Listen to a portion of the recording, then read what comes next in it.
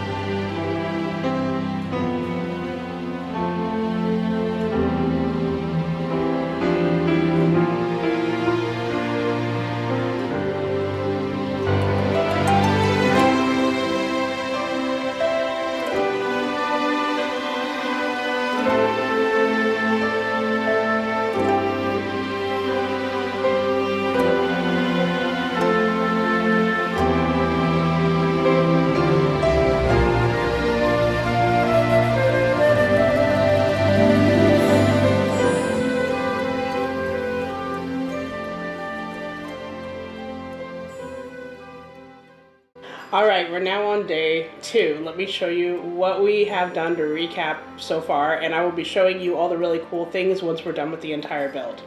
So there's the first floor, and we're starting on the second floor, and also we have the truck.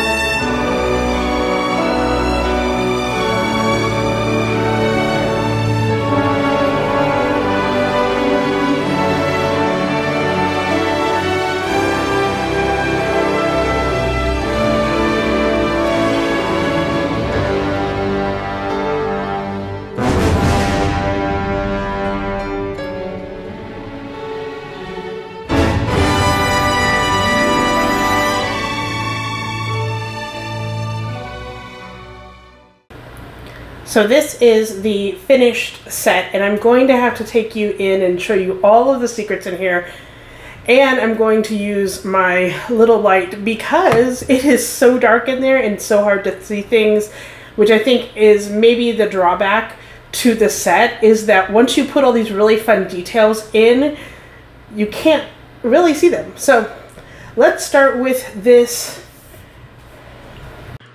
so, Future Lady jumping in to say that this build took me days. And uh, once I was done with it, I really was too tired to do like a wrap up and all that jazz. So I decided that I would uh, leave it for a couple days and then come back to it. But my biggest complaint that you're going to see right now is the fact that once you put it all together, it is really hard to get things reset up uh, to see all those little details without completely taking it apart again. And that is kind of one of the complaints that I had about this set. It is gorgeous, but I feel like once you set it up, it has to just stay there and you can't even use the interactive parts. But there are such great details and I want you guys to be able to see them, so I'm going to try to show them to you the best way that I can right now. Let's start with the uh, Wet Bandits truck that you can put them inside, which the top does come off. And you can see a little bit of their treasure in there. So this is the entrance to the front door, which you can see there are stairs going up there. I love the M detail there. And opening up over here, we have the Empire State Building, which is an homage to the second movie where he is home alone in New York. So I'm going to show you without the light that this does turn. So you get like the party scene with the uh, train. And using my light, I'm going to try to show you a really cool detail. In the back there, you can see that there is a box of this actual Lego set as a gift, which is so fun and cute. Opening the other side on the bottom, you have a poster of the Paris Eiffel Tower, which uh, the reason why this is kind of fun is because that is where the family is going in the first movie. So back in here again, I will turn the light on in a second, but I did want to show you that this also turns. And in the back, you can see that Kevin is eating his macaroni and cheese. There's a fan and a clock that tells you it's almost 9 o'clock, which is when the Wet Bandits come. Way in the back there, you're going to see that there is a kitchen, and we will get to that in just a little bit. The attic opens up like this, which is really fun. And in the attic, there is a spider web for the spider, which you're going to see downstairs.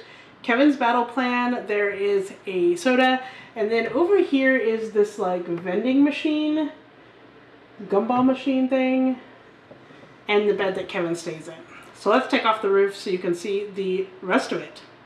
So I always think Buzz's room has a lot of fun details, but you're gonna see um, there's already a bunch of stuff on the floor, and that is because there's this really fun mechanism I'm gonna show you in a minute, but there is his rifle, and on his desk there's a poster or like a box for Duncan's Toy Shop, which is the toy shop from the second movie. And over here on the wall is a picture of his girlfriend.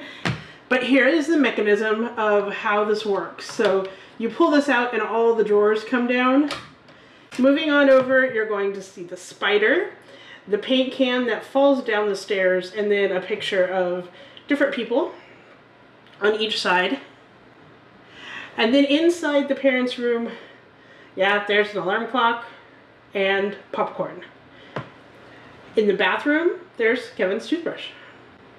Now I'm going to flip it around so you can see the basement and the kitchen. On the back part, I have placed the guy from next door, but there is doors leading here and as well as the little doggy door from the first movie. I had to take the roof off this one too, because again, it's really, really hard to see. We have some pizza from Little Nero's and a TV. There is also a microwave over there. And then over here, which is actually really fun, that's the fridge. So if you open the fridge, and let's see if anything fell out. Yep. There are boxes of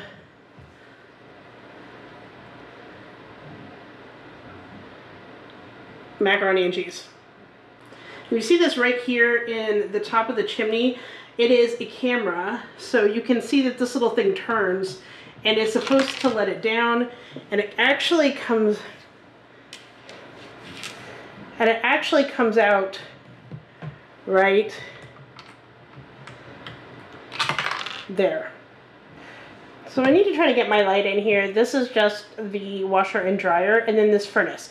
So this might actually be the one thing about this that I think is totally ridiculous. So that furnace actually lights up, but you can't get your finger in there in order to do it. So let me see if I can do it from the back door. Yeah, I can't even do it. Basically, you're supposed to be able to get your finger back there. I can't. Let's let's try it taking off the top. All right, so you can basically make it light up like this. Now, in my opinion, I think it is supposed to come off because if you see, the edges are just like two pieces of Lego. It's not connected all the way down. So I think that's supposed to make it easier for you to get to these different parts of the house more easy. But that is the back part. Let me show you the tree house because that's the last part. This is the tree house. You have the harness that Kevin uses to get into the tree house from the top window there. And a little flag. It's just really cute. I like it. So that is the end build. It took so long to do this, and then it took me so long to recap it afterwards, and I'm sorry it was kind of a little dark. I tried my best.